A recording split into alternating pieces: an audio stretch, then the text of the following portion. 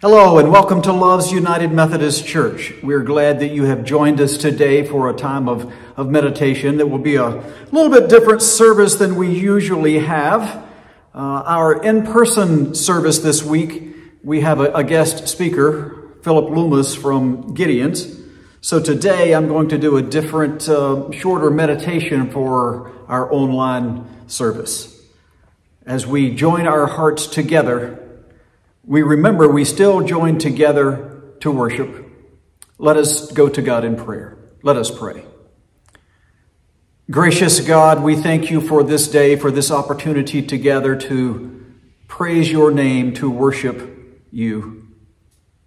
Come, Lord Jesus, come. Amen.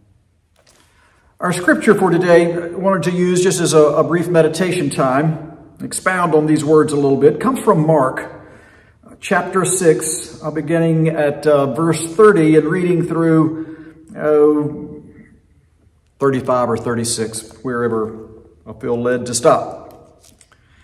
The apostles gathered around Jesus and told him all that they had done and taught. He said to them, Come away to a deserted place all by yourselves and rest a while. For many were coming and going, and they had no leisure even to eat. And they went away in the boat to a deserted place by themselves. Now many saw them going and recognized them, and they hurried there on foot from all the towns and arrived ahead of them. As he went ashore, he saw a great crowd, and he had compassion for them because they were like sheep without a shepherd. And he began to teach them many things. I will stop there with the reading and expound on that, but this is the word of God for us, the people of God. Thanks be to God.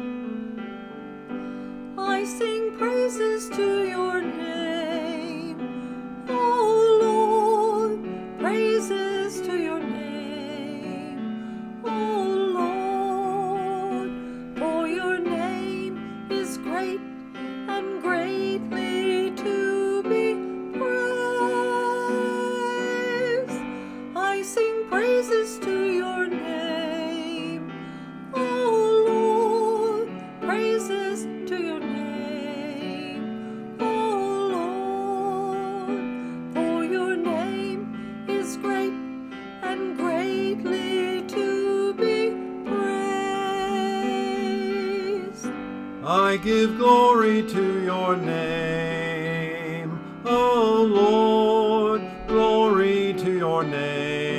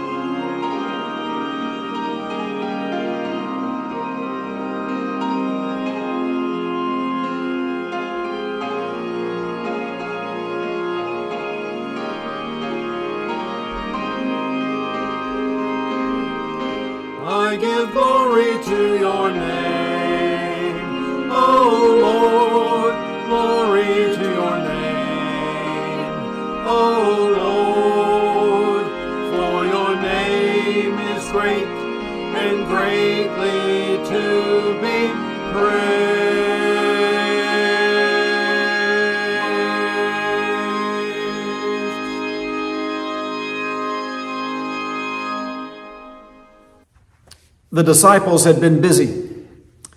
They were doing all the things that Jesus had taught him, them, and were so busy, as the text says, they hadn't even had time to eat.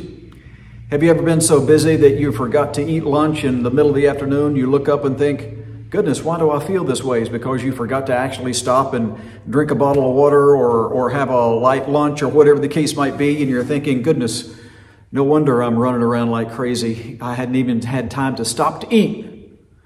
This is exactly what happens with the disciples.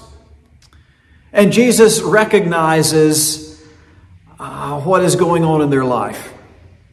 That they've been so busy running to and fro like a chicken with their head cut off kind of thing that they hadn't even had time to stop and take care of their physical bodies because they hadn't even taken the leisure even to eat, or their spiritual bodies being so caught up in everything that was going on, they were drained. And Jesus recognizes this and says, you know, you need to get away to a deserted place. We need to go and, and have some downtime. Knowing that the strength to do what they were doing could only come from God. Jesus recognized this and realized this and was teaching that to the disciples. I think sometimes we forget about that in the church because we think this has to be done and that has to be done, and it does. And we're thinking if we just work a little harder, a little faster, and you put off all the important things of life, attending to our own spiritual lives. But it's not just the scripture that's powerful, it's the placement in our text that makes it so powerful. Here's what I mean by that. Just before this reading that we have just looked at, these four verses that we've just looked at in John 6, read 30 through 34, just before that, John the Baptist had been executed. This is one of the things that the disciples had to be sharing with Jesus. We've been doing everything you taught us, Jesus, and, and still look what happened to John. John the Baptist had been executed. John and uh, John the Baptist and uh, Jesus' earthly ministry only overlapped each other about three months before John was executed. John is a, a, relative of some sort. We don't know exactly what that is, but a relative of some sort of Jesus, whether it's a, a distant cousin or, or something like that. Remember Elizabeth's mother and Mary uh, met together in Elizabeth's house when they were both pregnant. She with John the Baptist, and Mary, of course, with Jesus, the mother of Jesus. So there was a, a relationship there of some sort, not just a friendship, but a familial re relationship as well. And John the Baptist has just been executed. Is it getting any worse? The disciples have worked like crazy, and still this has happened. And they go to Jesus telling everything that's gone on, everything they have done, everything they've seen. And Jesus says, Whew, we're going to have to pull away for a little while and sort of make sense of all this. We have to process all of this. We have to, we have to take some little bit of downtime here and gain our strength from God the Father. Let's, let's go away to a deserted place for a little while. Away from the noise of the crowd. We could say the same thing with the noise of life in general, period. To steal away for a little while, to zero in on that which is most important our relationship to God. Before they could even get where they were going, the crowds saw them. They saw where they were headed and, and actually beat them there so that when the disciples and Jesus arrived, the crowd is already there waiting for them. Clamoring to be close to them, clamoring to, they needed something. They were hungry for something. They, they, knew, they knew they needed nourishment. And so they're reaching out and our text says they were like sheep without a shepherd, without someone to, to look out for them and to care for them. What happens next is just mind blowing because we have the miracle of the feeding of the 5,000. And that's where I say the placement of this text that we have just looked at is just as powerful as the text itself. The worst thing imaginable the beheading, the execution of John the Baptist has just occurred. Can it ever get any worse than that? The disciples come to Jesus and say, Wow, look, look at everything we've done and everything we've seen and everything that, that we've been about since we last saw you. And Jesus says, Whew, we have to make sense of this. Let, let's work our way through this. Let's process all of this. Let's take a little quiet rest. Let's gain our strength from God the Father. And look what happens next. One of the most important miracles that we refer to in all of the text is the feeding of the 5,000. I, I share that today simply because there are some difficult things going on in the church. And maybe we scratch our heads and say, can it get any worse? We have this, this schism in the United Methodist Church. We have 20% of the churches in our Western North Carolina Conference disaffiliated. That's 15% actually of the membership. So many of them were, were small membership churches. But still, it was 20% of the churches disaffiliated, 15% of the membership. And maybe we're thinking, can it get any worse than this? And the answer is, well, yes, the beheading of John the Baptist certainly tells us it could get worse than that. The point, though, is rather than wringing our hands and saying, oh, woe is me, what, what now? We take that time to process everything that has gone on. We draw close to God. And powerful, powerful things can happen. We see that, uh, again, that's the reason the importance of the placement in this text. The worst of the worst happens. Take time to process it all, make sense of it all, gain our strength from God the Father, and look at the powerful things that can happen then. We can't let what has happened in the United Methodist Church with the schism that has taken place and the global Methodist Church or those churches who have chosen to become independent or align with another denomination or whatever the case might be, that's not going to affect who we are in the United Methodist Church. Who we are is who we are, the United Methodist Church, and we follow Jesus, make disciples for the transformation of the world. That, uh, that mandate has never changed. We may disagree on certain manners in which we live out our theology, shall we say, or even interpret that theology. What I hope has not changed is our mission to follow Jesus to make disciples, to transform the world. That mission goes unchanged. Nothing has changed there. Yes, there are differences, but look at the differences. They're man made differences. The things that we've come up to argue about, whether it's in the local church or, or the greater denomination, the many things we argue about that have caused uh, splintering and, and, and fracturing and what Jesus is saying, look at this horrible thing that's happened here. Let's take time to draw close to God and look at the powerful things that can happen when we do that. I hope that's what we do. I just wanted to take this time to, to chat about that briefly this morning. I hope you enjoy this time of, of listening to some uh, sacred music.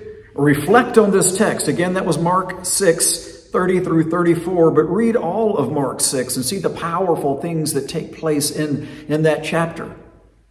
Let that be what uh, drives us. Let us uh, let our attention not be distracted by all of this stuff that's going on over here or that stuff that's going on over there, but the very fact that we as the church are called to come to a deserted place, quieten our minds, recenter, reset, refocus on who we are as the church, followers of Jesus that make disciples for the transformation of the world. In Jesus' name, amen.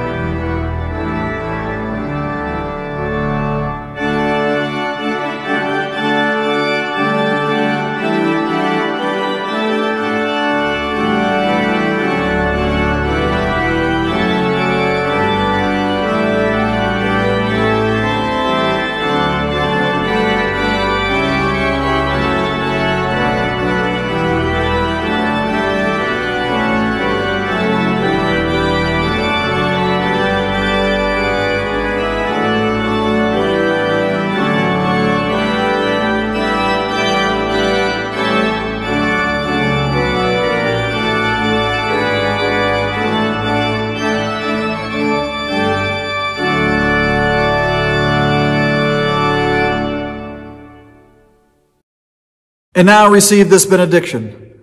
May the Lord bless you and keep you. May the Lord make his face to shine upon you and be gracious unto you. May the Lord lift up his countenance upon you and give you peace. In the name of the Father, and of the Son, and of the Holy Spirit. Amen.